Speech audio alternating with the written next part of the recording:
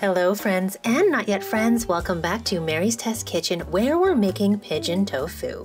Or trying to. Why? Because inflation is just where it's at right now. Or because we're at the pigeon protein part of this recession. Or just because you requested it. Y'all know I love to do what you want, as long as I want to do it too. So to start, we're gonna need some pigeon peas, aka toor dal. I actually couldn't find it at nearby grocery stores, so I ended up buying it on Amazon, so I'll leave the link if you need it. These are split pigeon peas. To be more specific, they look similar to common yellow peas. They are smaller. So much smaller that I don't think we're going to need as long to soak them to fully rehydrate, compared to the usual.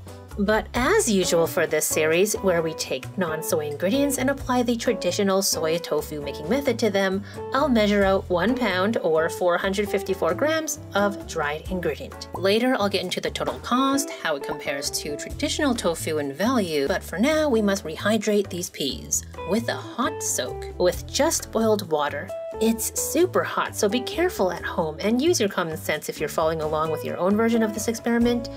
Then we can just let this sit on the table for, oh, since these split peas are so tiny, I'm gonna guess one hour before they fully plump up.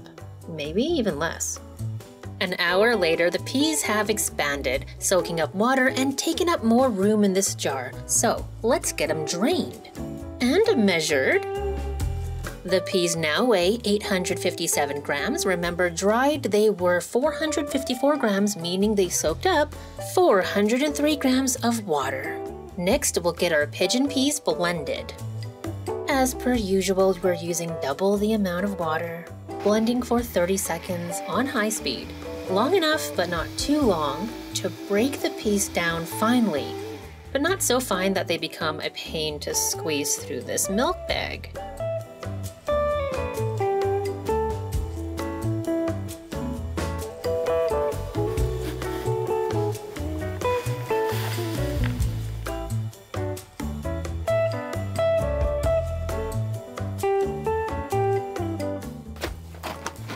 Now we have a bunch of pulp.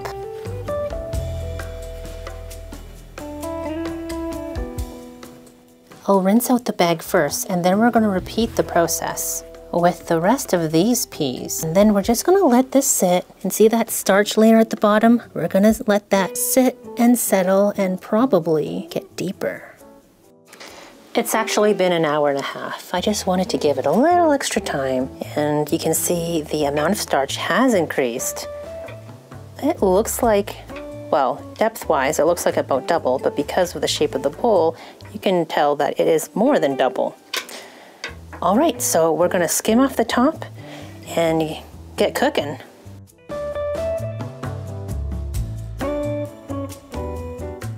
I think we did a pretty good job there. And there we have our starch. You know, the other day I was thinking about um, starch noodles.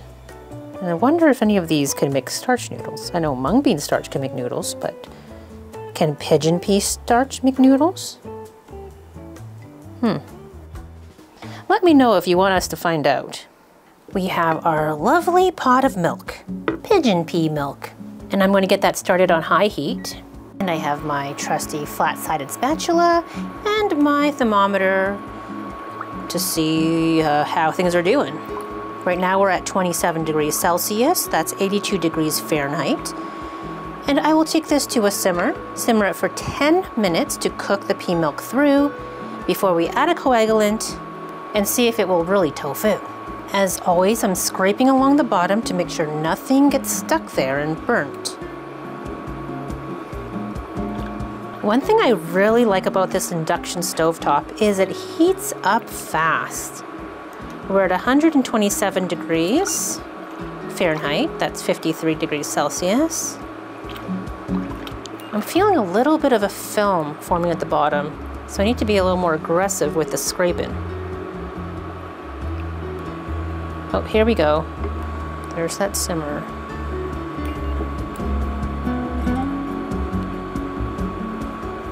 I'm not really getting an accurate read on the temperature because the foam is in the way, but we're basically at 190 degrees. There we go, we're at a rolling boil. I'm about to drop the temperature. I want to control the heat to get a steady, low simmer. Making tofu is a peaceful endeavor. I do not need a violent rolling boil. While that's simmering, I'm going to get my coagulant ready. This time, I'm pretty confident that the regular amount of coagulant is going to do it.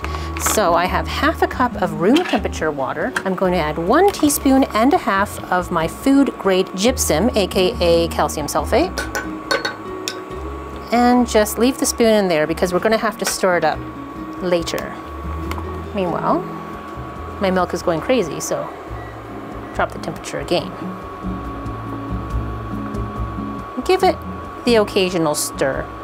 I don't think you have to be constantly stirring like we were earlier, but it's still building up on the sides, which I think is a good sign. And there is a little buildup at the bottom, so I'm scraping it down. Oakley dokley. It's been about 10 minutes, and this pea milk smells well cooked. Well, I guess it's time for a taste test. Not gonna lie, it's a little weird. It doesn't taste like the yellow or green pea milks. Instead, it's a bit floral, mild with a light savoriness and a slightly worrying touch of a flaxy mouthfeel, if you know what I mean. But let's keep going. All right, we're at 185 degrees Fahrenheit which is the perfect time to start putting in my coagulants. I'm gonna stir it up real quick and stir that in so that the coagulant gets distributed in the milk as evenly as I can get it. Stir, stir, stir, and then stop the motion. You can already see the little bitsies of curd forming. Can you see that? Here's our close-up. Do you see the um, you can already you can feel it under that spatula it's thick all right so I'm going to cover this. Leave it on the warm stove top cover it for 15 minutes. Let that fully coagulate hopefully. Hopefully it fully coagulates. And then we'll get back to it. 15 minutes and it is the moment of truth. Look at that. Ooh. All right, let's go in. Looking for a clear way. Yep, looks clear in the middle. It looks clear on the side. This is, I'm impressed. This is actually looking really good. Those curds, they're nice and they're much more solid than um, our previous two.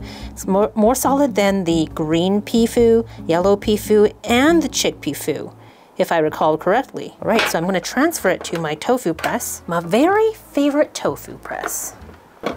As always, the link is in the description because I think you should all get one.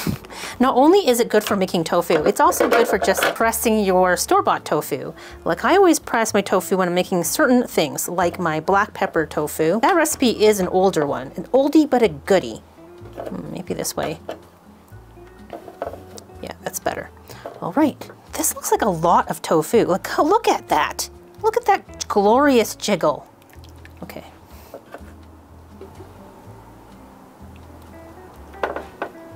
All I have left over is some fine curds. And I'm not really gonna bother because I'm kind of in a hurry. I have things to do today. I'm gonna do a whey taste test with some curds in there. Hmm, I'm getting more of that floralness. That's interesting. This is the first whey that I wouldn't use as vegetable broth. I mean, maybe I would, but it doesn't remind me of your tip. You know what I would use it in? It's curry. I would use it as the base of a curry because I just feel like this, this flavor matches. Yeah, it's interesting. It's not bad. It's not my favorite whey though. And that said, we've had some pretty darn good whey. Chickpea whey was really good. Green pea food whey was excellent. There's been quite a few really good wheys. So this is the first one that I don't really love that much. Time to fold up the cloth. There is a lot of whey in here. Pop that lid on. The pressing top. And pour out the whey. Oh, it's kind of gross, but let me get some midstream. without the curds. Yeah, my assessment remains the same.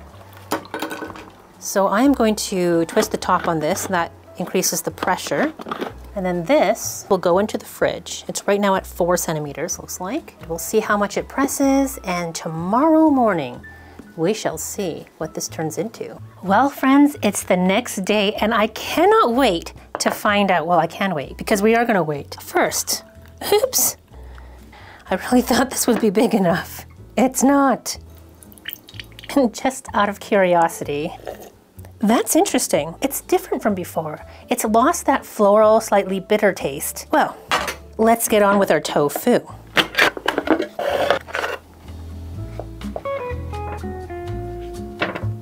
It seems very springy.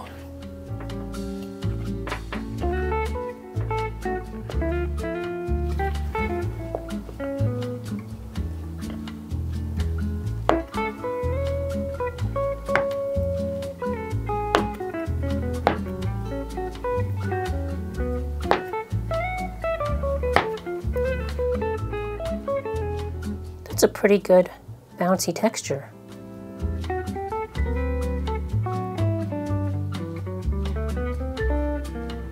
All right, taste test time. It's softer than I expected, and it really, well, it tastes like lentils.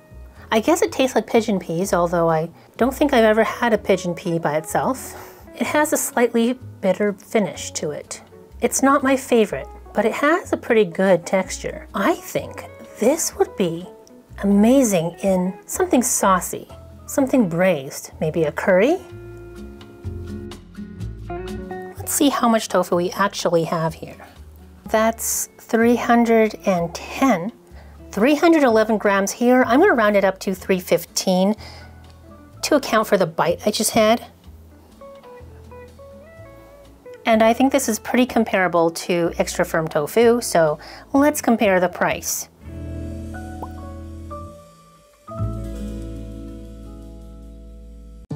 Let us do our usual air fry test. I'm actually using the same seasoning that we used for the last time we air fried.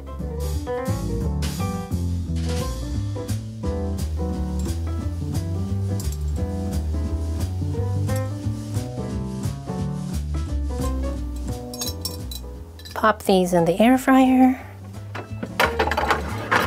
Now, a few of you have asked me which air, what air fryer we have here, and I will link in the description with the caveat that it's not an endorsement. I'm not recommending you to buy this. I'm not saying don't buy it. I'm just saying the other products I have linked down there, they are my tried and true products, and I highly recommend them because I've had great experience over years.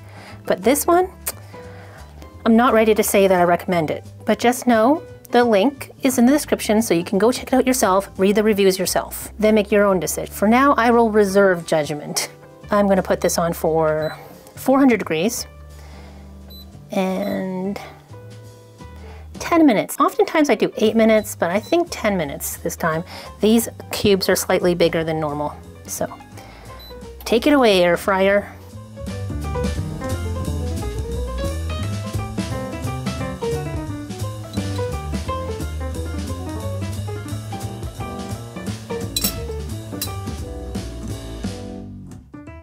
Let's start here with a big piece. It's got that springy texture that we love. The outside, although looks like it might be crispy, sounds like it might be crispy. As we all know, it's never crispy, okay? It's chewy. Mmm. I mean, it really tastes like lentils. I mean, if if you're not familiar with pigeon peas, but you want to know what this tastes like, it basically tastes like your regular yellow lentil. Anyways, let's move on to our air fried with oil. So I'm gonna try it plain first. Look at that texture. It's nice. And let's go in for our seasoned versions. I'll cut these both at once. For my oil-free friends, this is the way to go. Such a simple seasoning, but so good. And then our seasoned, but with oil on the outside. It improves the browning so much. Here's the difference. It Just looks so much nicer.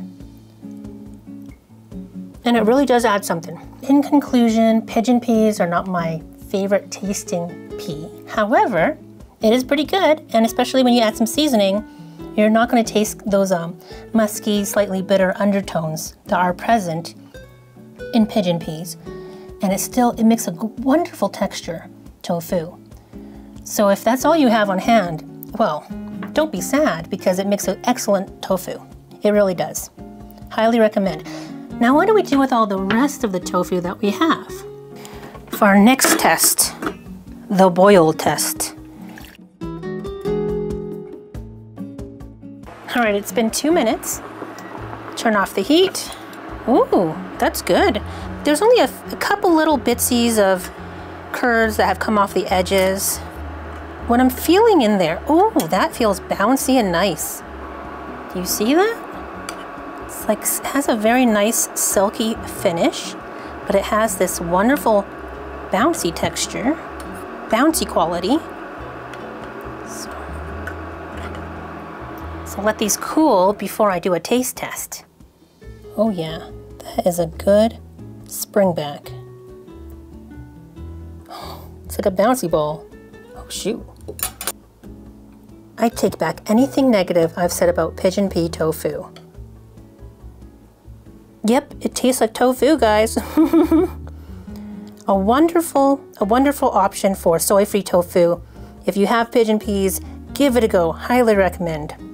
And for my next trick, I will turn this into the most delicious curry alongside some chewy and wonderful naan. So just click on through to watch it. Thank you so much for watching here, my friends. Please give this video a thumbs up if you liked it and subscribe if you haven't already. Go ahead and turn on notifications if you don't want to miss a thing. And let me know down in the comments what else you think I should tofuify because, well, guys, I'm all out of peas. Bye for now.